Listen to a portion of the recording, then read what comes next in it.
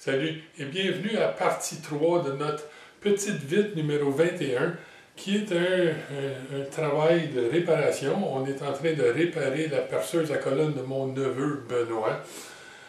Et on, a déjà produit cette pièce-ci euh, qu'on va vouloir travailler dessus aujourd'hui encore. Mais avant ça, je vais juste vous montrer ici, euh, sur la pièce, j'ai disposé deux euh, outils de coupe de tour. Là, c'est des outils de coupe de tour qui n'ont pas été affûtés encore, mais que je vais utiliser comme parallèle. Et ça, c'est important parce que je ne veux pas que ma pièce soit au fond de l'étau. Euh, parce que je vais vouloir percer à travers. Donc, je veux un petit espace en dessous de la pièce. Mais mon étau est particulièrement petit, fait que je ne peux pas utiliser des parallèles très hautes. Et ces petits outils de coupe ben, sont vraiment planes, euh, droites et dures. Donc, ça fait parfait comme parallèle lorsque je veux pas avoir beaucoup de hauteur. Là, je vais utiliser ces petites cales pour deux raisons. La première, c'est que je ne les installerai pas comme je ferais normalement, parallèles aux mâchoires de l'étau. Donc, je vais les positionner transversalement aux mâchoires de l'étau. Et pour réussir ça, ben, il va falloir que ma parallèle soit plus courte que la largeur de ma pièce. Et dans ce cas-ci, c'est parfait, elles le sont. Fait que ça, ça va fonctionner parfaitement. Un deuxième problème, c'est que mon étau est très petit ici. Ce n'est pas un gros étau. Euh, et j'ai un problème de hauteur. Si je soulève trop ma pièce, je ne pourrai pas la retenir avec les mâchoires de l'étau par-dessus le centre de la pièce, ce qui est vraiment important pour la tenir correctement. Si je prenais des parallèles plus hautes, mais j'aurais un problème de hauteur. Et ces parallèles de 1 quart de pouce, mais c'est parfait pour ce que j'ai à faire ici. Alors, trouvons nos lunettes de sécurité et mettons-nous au travail. Je vais commencer ici par installer la pièce grossièrement. Parce que ce qui compte avant tout, puisque j'utilise une fraiseuse à colonne ronde, ben, ça va être de régler la hauteur de la tête de ma machine. Et je vais faire ça à partir de l'outil la plus longue. Et ça, c'est l'outil la plus longue, donc je vais m'en servir pour régler ma hauteur. Pourquoi tout le dérangement? Ben, parce qu'on va utiliser la méthode de l'outil le plus long.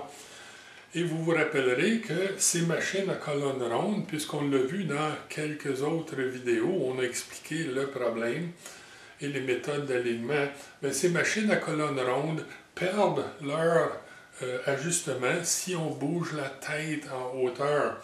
Et ça, c'est problématique. Là, si vous n'êtes pas sûr de ce qu'est réellement euh, la façon ou la méthode de l'outil la plus longue, ben, allez voir ces vidéos-là, ça va vous aider. Mais pour nous autres, on va juste dire rapidement que l'outil la plus longue consiste à installer la pièce et la tête de la machine pour accepter de justesse l'outil la plus longue lorsque la broche de la machine est montée au maximum. Et c'est ce que j'ai ici. Ma broche est montée complètement en haut. L'outil la plus longue est installé. Et comme on peut voir ici, ben, juste, j'ai juste un peu de dégagement, un peu plus qu'un quart de pouce ou à peu près un quart de pouce de dégagement euh, avec le dessus de la pièce. Donc, c'est la méthode la plus longue. Tous les autres outils sont plus courts que ça et vont faire leur travail en descendant la broche sans toutefois être obligé de bouger la tête de la machine et perdre notre euh, positionnement.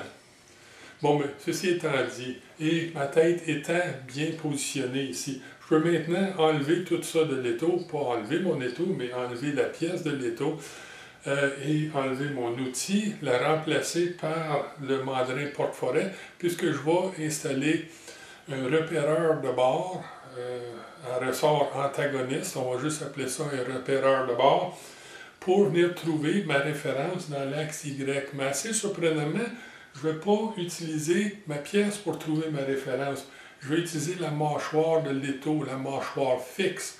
Très important ici. Pas la mâchoire mobile, la mâchoire fixe comme référence pour mon axe Y. Ça, c'est un petit truc qu'on peut faire qui nous simplifie la vie énormément lorsqu'on travaille avec des pièces cylindriques en étau. Une fois que ça c'est fait, ben, on va installer notre pièce et on va trouver notre référence en X. Bon, Je suis tout installé ici. J'ai mon repéreur linéaire de montée. Et je suis prêt à commencer pour repérer le bord de la mâchoire fixe. Là, si ça, ça vous dit rien, parce que je n'expliquerai pas beaucoup ici. Si ça vous dit rien, mais dites-vous, on a une vidéo qui porte sur le sujet du repérage euh, de bord, une vidéo dédiée à ça. Donc, prenez quelques minutes pour aller voir ça, si ceci ne vous dit rien. Pour nous autres, ben, on va repérer le bord ici, puis ça va devenir notre 0 dans Y, pour qu'on puisse revenir euh, à notre 1.5 pouces pour trouver le centre de la pièce qui vont être montées dans les taux éventuellement. Donc, repérons notre bord.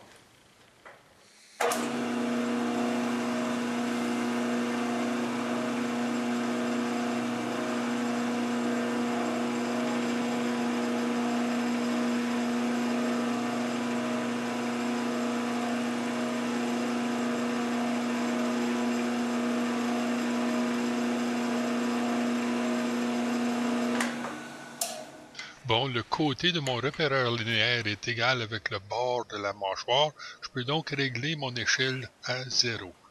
Une fois ça fait, mais il va falloir que j'avance par 100 millièmes de pouce, qui est la moitié de la largeur de mon repéreur de bord.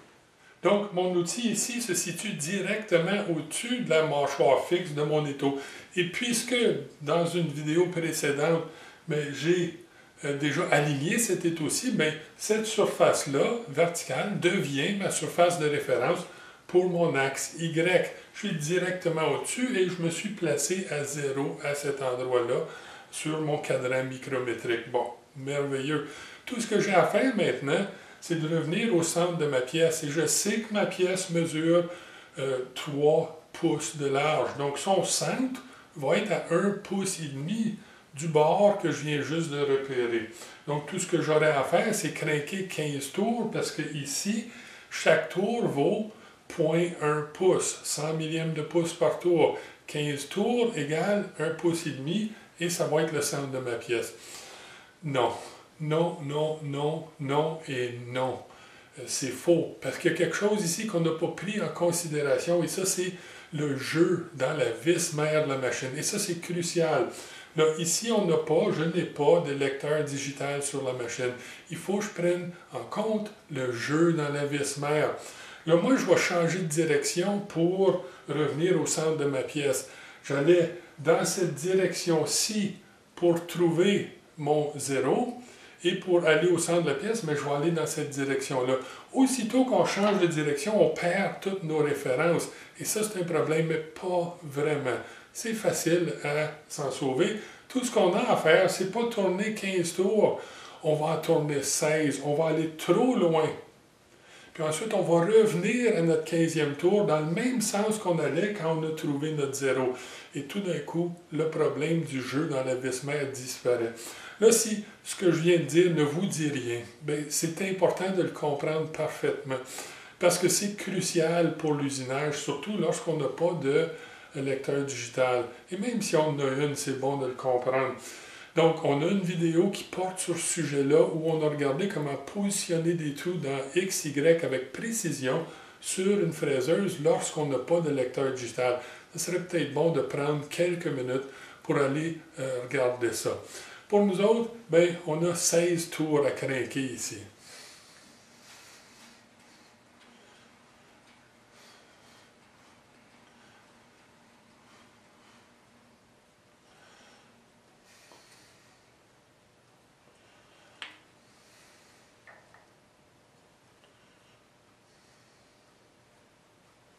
Bon, j'ai sorti 16 tours, je suis revenu un tour pour arriver à mon 15, 1.5 pouces dans la même direction que j'ai repéré mon bord. Tout devrait être beau. Mon outil ici, pas mon outil, mais mon repéreur devrait être au centre de la pièce à 1.5 pouces du bord de la mâchoire de l'étau. Devrait. On va toujours vérifier tout. Et pour ça, pour vérifier que je n'ai pas fait d'erreur, ben, je vais utiliser ici mon pied à coulisse. Le pied à coulisse ici, ben, je l'ai réglé à 1.5 pouces. Et je vais juste venir vérifier très grossièrement, est-ce que ça a l'air d'être à peu près au centre? Et oui, ça a l'air d'être au centre. Pourquoi je dis grossièrement? Ben, parce que ici, je ne serai pas un millième hors de position ou deux ou trois. Je vais être beaucoup ou pas tout. Je vais être en plein où je veux être ou très mal placé. Pourquoi? Parce que la seule erreur que j'aurais pu faire ici, c'est mal compter mes tours. Là, si j'ai compté un tour de trop ou un tour de passé, ben, je vais être point un pouce hors position. Puis ça, avec mon pied à couler, je suis capable de le voir facilement. Donc, ça, je suis rassuré, je suis exactement où je veux être. Là, cet endroit-là, c'est la référence pour l'opération à venir. Et puis, je ne veux pas bouger cet axe en m'accrochant dedans ou en faisant quelque chose du genre. Mais qu'est-ce que je vais faire tout de suite? Ben, je vais barrer mon axe Y. Je vais le barrer solidement en place pour ne pas perdre cette référence-là.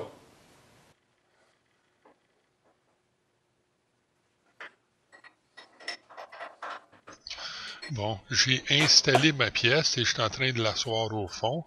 Je vais ensuite euh, aller régler mon repéreur linéaire dans le mandrin porte-forêt et je vais venir repérer le bout de la pièce. Là, on se rappelle ici que je veux que le trou soit à 1 pouce 870 millième du bout de la pièce. Donc ça, c'est mon bout. Maintenant, j'avance de 100 millième pour placer le centre de la broche au-dessus du bout. Et ensuite, je vais avancer mon 1 pouce 870 millième. Et une fois là, je vais m'assurer de barrer mon axe. Je suis maintenant positionné en X et Y.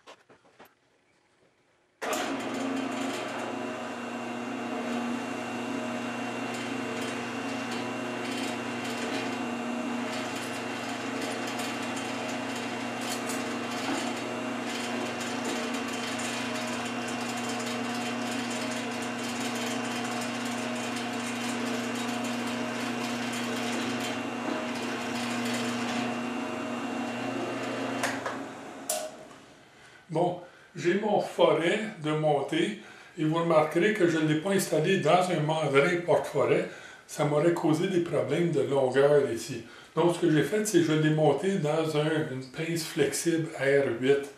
Et puis, ça me sauve beaucoup de distance de hauteur. Puis, je suis pas obligé de bouger la tête. On ne veut plus bouger la tête ici.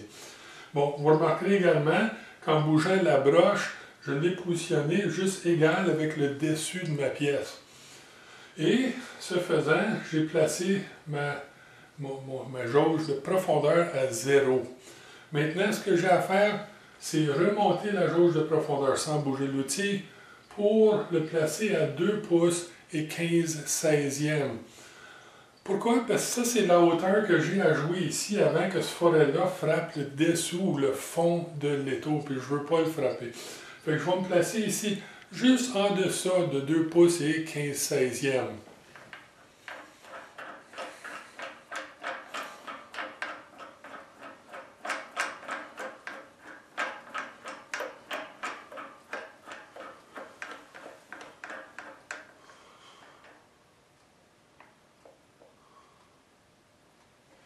Bon, on est tout prêt à couper. J'ai de l'huile de coupe. Je suis bon à partir. Par contre, ça va être un petit peu long comme coupe. Fait qu'on va partir le trou, euh, ensuite on va arrêter d'enregistrer et on reviendra lorsque le trou est presque terminé.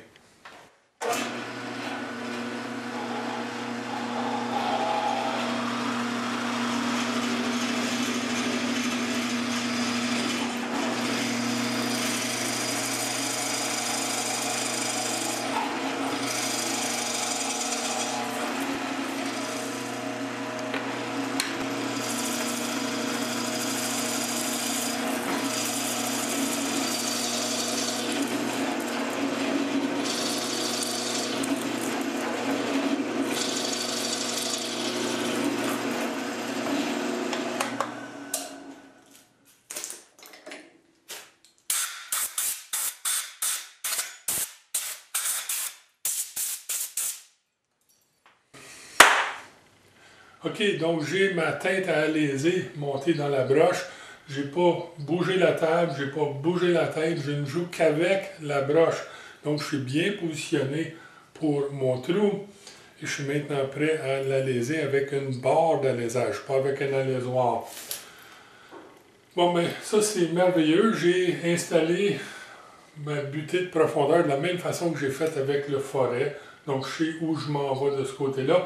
Et j'ai réduit ma vitesse de rotation parce que, euh, à cause de la longueur de la barre d'alésage qu'on a ici, je vais définitivement avoir de la vibration. Donc, pour contrôler ma vibration, je réduis ma vitesse de rotation et je vais contrôler mieux mon avance parce que je ne veux pas de broutage, je ne veux pas coincer dans la pièce ici. Et pour ça, ben, je vais garder ma broche légèrement barrée. Je sais que ça se dit pas là, mais juste un petit peu barrée. Je veux pas qu'il y ait de vibration ici, je veux pas qu'elle avance librement. Je veux que ça prenne un peu d'effort pour avancer l'outil. Et au lieu d'utiliser la manivelle qu'on voit ici, je vais utiliser l'avance plus raffinée ici, encore une fois pour contrôler mon avance. Donc, commençons notre coupe.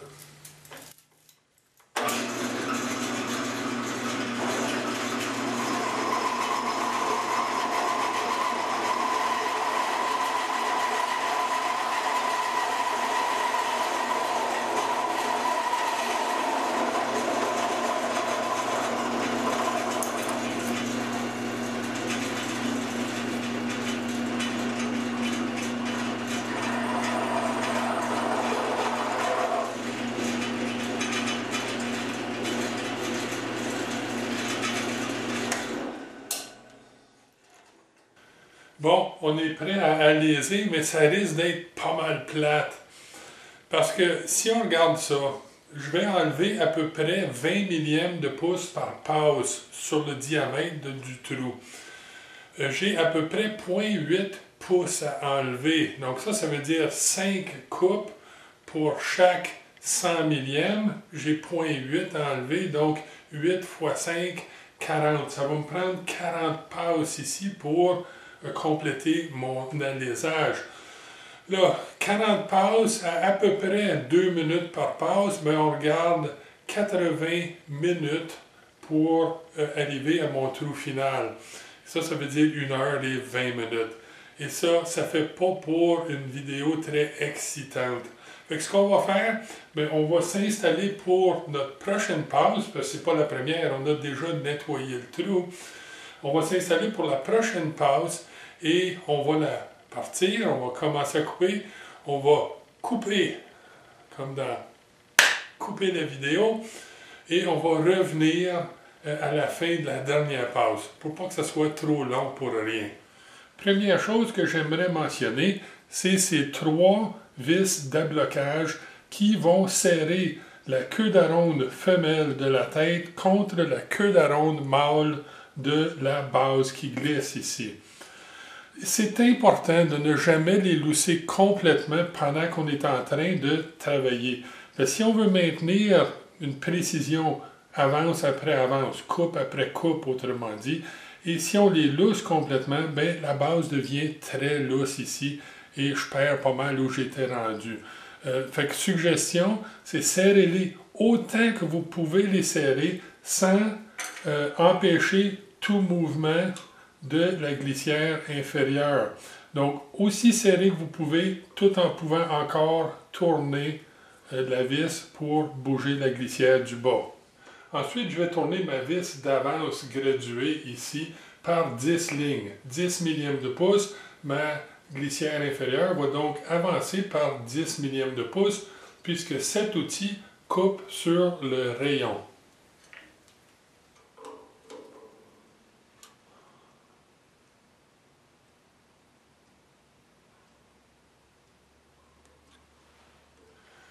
Mais qu'est-ce que ça veut dire couper sur le rayon? Bien, ça veut dire que lorsque j'avance par 10 millièmes de pouce, comme j'ai fait ici, mon outil avance réellement 10 millièmes de pouce. Et ça, ça veut dire que mon trou va s'agrandir par le double, 20 millièmes de pouce, donc 10 millièmes par bord.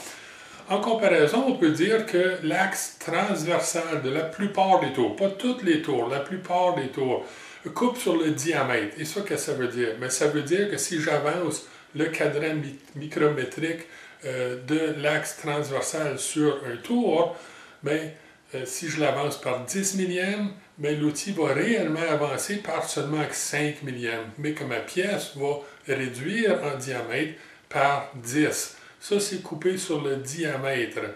Et ça ici, c'est une coupe sur le rayon. Là, il est important de savoir, pour ne pas se rentrer dans le trouble, que pas tous les axes transversaux des tours euh, sont euh, sur le diamètre et pas toutes les têtes à léser coupent sur le rayon.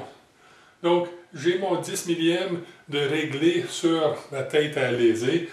Euh, la broche, elle n'est pas complètement barrée, mais elle est bien serrée pour réduire la vibration.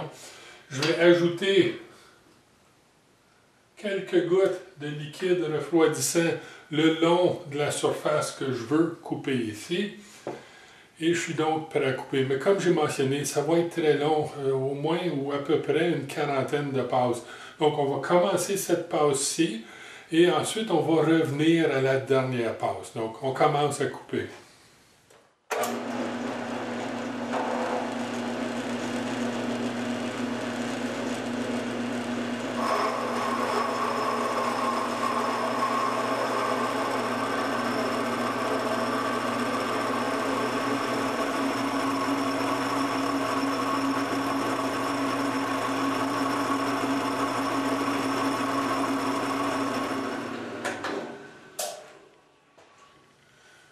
Bon, ça ma dernière passe. Puis je veux pas égratigner mon beau fini en ressortant l'outil. Ce que je vais faire, c'est que je vais pointer l'outil dans cette direction-là et je vais avancer la table dans cette direction-là, légèrement, 5-10 millièmes de pouce. Et ensuite, je vais retirer l'outil, comme ça je ne serai pas en contact. Par contre, il faut être certain de ne pas partir la broche, parce que ça va créer un trou qui a une forme oblongue. faites attention à ça. Donc on déborde, on avance et on se retire.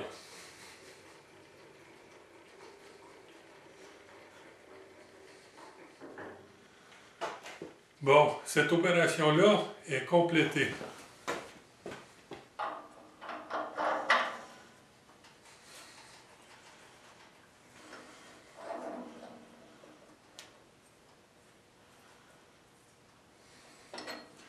Bon, mais qu'est-ce qui suit? Bien, sécurité en premier, euh, je vais faire un léger ébarbage ici parce que je ne veux pas me couper. Ensuite, on va faire du traçage. Euh, on va tracer une ligne qui, à la hauteur du centre de ce gros trou-là. Une ligne que je vais utiliser pour régler mes profondeurs de coupe de perçage. Parce qu'après ça, ben, je vais venir percer mes trous. Ces trous-là vont être complexes. Je vais les percer avec euh, le forêt en vue du taraudage. Ensuite, je vais repercer avec un forêt de dégagement. Et finalement, je vais percer avec, je ne vais pas percer, je vais chambrer les deux trous. Évidemment, tout ça va être précédé par une opération euh, faite avec un, forêt à centrer.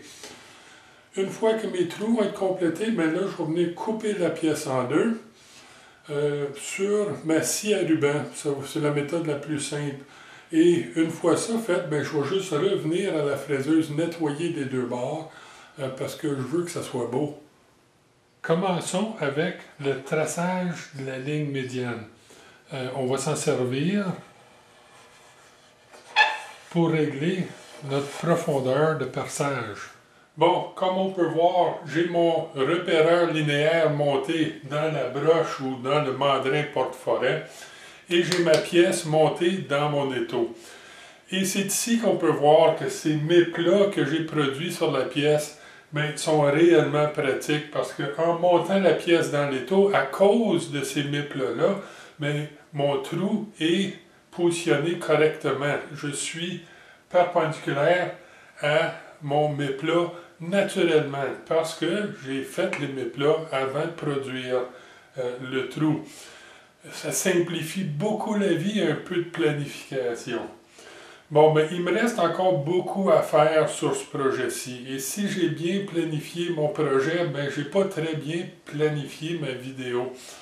Euh, parce qu'on est passé la marque des 20 minutes et c'est pas mal la marque psychologique que je me suis fixé pour une petite vite. Et ça, ça veut dire qu'on va avoir une partie 4. Bon, ben, d'ici là, amusez-vous, soyez prudents et bon usinage.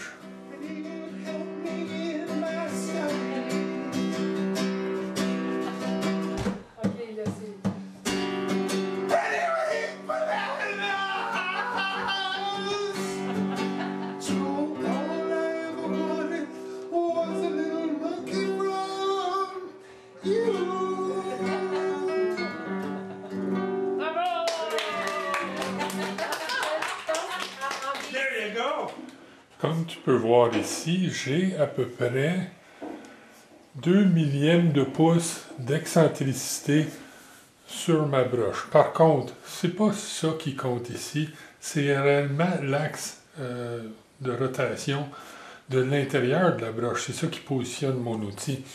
Et ici, ce que j'ai fait, c'est j'ai pris une pince flexible et une tige vraiment précise. Donc, je vais utiliser le haut de mon repéreur linéaire ici pour vérifier ce qui compte réellement, qui est l'axe de ma broche, mais l'axe central de ma broche. Donc, on va s'aligner, se placer à peu près au centre. On va se placer plus ou moins sur zéro. Ici, je peux voir que je n'ai que peut-être 3 ou 4 10 millièmes de pouce d'excentricité. Et ça, c'est acceptable. Donc, la réponse simple est celle-ci. Euh, si tu as 3 ou 4 millièmes, comme tu as indiqué, sur l'extérieur de ta broche ici, c'est acceptable, c'est pas un gros problème. Par contre, si l'intérieur de ta broche a une excentricité aussi grande, ben vraiment, j'éviterais d'acheter la machine. Si tu t'installes comme j'ai fait ici, ou si tu places ton comparateur sur le cône intérieur de la broche, et tu trouves que tu as plus que 1 millième d'excentricité, je n'achèterai pas la machine. Réellement, on veut au plus, comme je vois ici, un peu moins que 5-10 millièmes. J'endurerais jusqu'à 1, jusqu'à 1 millième, puisque ce n'est pas des machines de très très haute précision.